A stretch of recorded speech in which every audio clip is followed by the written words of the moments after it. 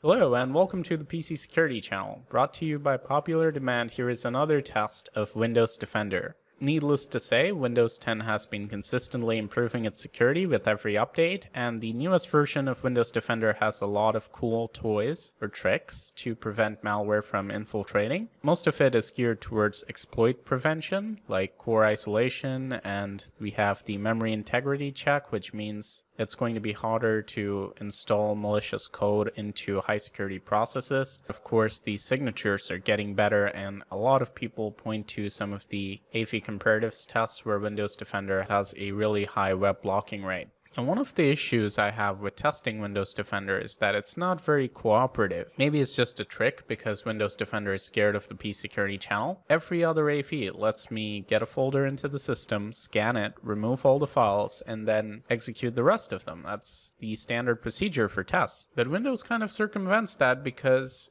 a, it doesn't give me accurate scan results. Every time I scan, it only detects like 5 or 10 files, and the rest are just left. And B, even the files that are detected, it doesn't remove properly. It doesn't give me an option to just delete all of them. You either have to go through them one by one and decide what to do with each file, or you can just tell Windows to take proper actions, in which case it just does nothing. It kind of denies access to them, but that's all. The files still remain on the system, which makes it impossible to, say, calculate the detection ratio or accurately find the files that it doesn't have signatures for so I can do the unknown malware prevention test. But come on, Windows Defender, you're not going to escape me that easily. Today, I have a method that is going to circumvent all of that nonsense.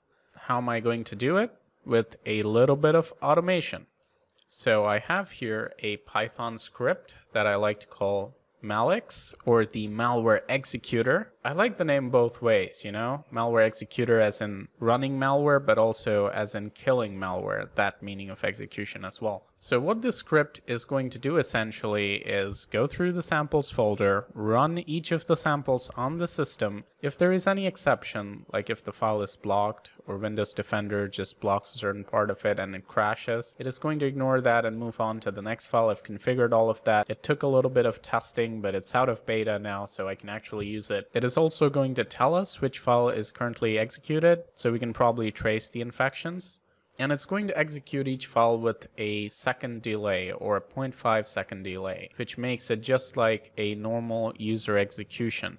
So let's get our samples and get started with the test. Now here I have 100 items most of these are malware and ransomware. I didn't get the usual mix of threats that I get, including PUPs. The reason is this is more of a baseline test. If Windows passes this, then I'm going to go for a more in-depth test later on. But this is really high detection ratio stuff. So most AVs are going to get a detection ratio of maybe around 90 to 100% on this, probably closer to 100. as you can see, Windows has already started removing some of these and I will let it continue. But I just want to clarify that this uh, cross on the shield does not mean that the real-time protection is turned off. It is actually turned on, as you can see over here, just that Windows is detecting threats, which is why it's giving us the warning that the system is not secure. Now, while I'm not using a lot of PUPs on this test, I want to show you that I did enable the detection of PUPs anyway. So I've made the registry changes that kind of makes Windows Defender use the expanded detection, which includes potentially unwanted applications and potentially unwanted programs. I think we're finally ready to take Windows for a trip through the rough countryside and see if it can hold its own against other competent AV solutions.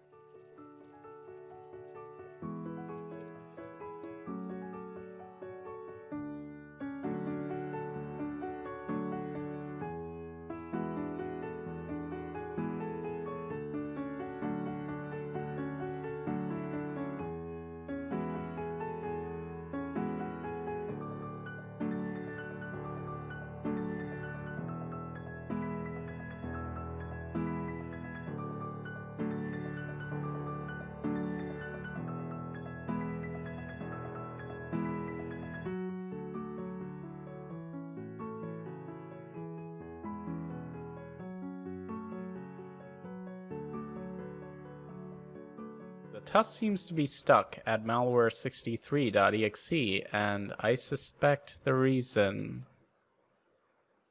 Hmm. Seems we were hit by some ransomware. And the problem, I think, is that the files in the malware folder themselves are getting encrypted, which is preventing the execution from proceeding. Oops. So it seems all of our data is encrypted now. Keep in mind, I have been using Windows Defender on the default settings, which does not include the protected folders option. As you can see, the controlled folder access is turned off, but then again, controlled folder access is just like the thing we saw in Avast Internet Security, where if you turn it on, it just protects a few folders and it doesn't allow modifications in there, but that can also affect legitimate applications, which is not a really good sign of a robust behavioral blocking component, because what about things that don't modify files? What about other types of malware? So now what I'm going to try to do is delete the samples folder and then we'll do a second opinion scan with Hitman Pro and see how we did so far. We only made it up to 63 before the system was compromised. But I guess that's good enough. And as I suspected, this sample is active. It's actually detected by both Bitdefender, Kaspersky, and even Sophos. It seems to be a Globe imposter variant.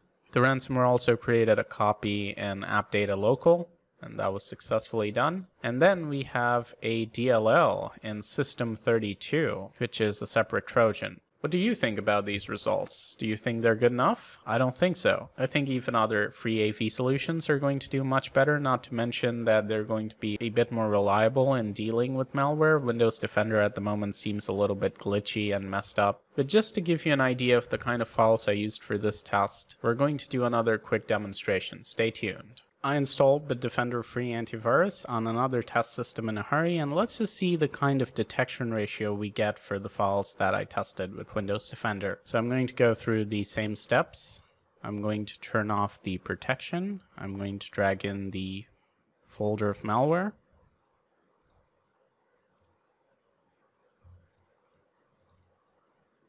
As you can see, these are the exact same files I used in the test just a few moments ago. And now we're going to do a right click scan with Bitdefender and we'll just remove all these files and see what kind of detection ratio we get, just to get an idea of what another AV engine would do with these files.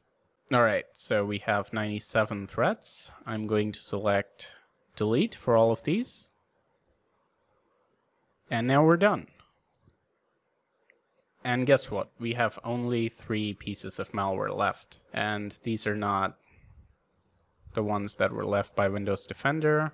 A couple of them don't run. So the detection ratio was 97%. I wasn't kidding around when I said a good AV would have detection close to 100% on these files. Now you've seen both the results and a comparison with a free AV product. One thing is for certain, it does seem like Windows is trying to take over the antivirus industry, gain more and more market share, but because they have been slacking at this for the last 10 years, they have to play catch up. Have they caught up yet? No. Anyway, thank you very much for watching. Please like and share if you enjoyed this video and let me know your thoughts in the comments. Consider supporting me on Patreon. This is Leo from the PC Security channel, and as always, stay informed, stay secure.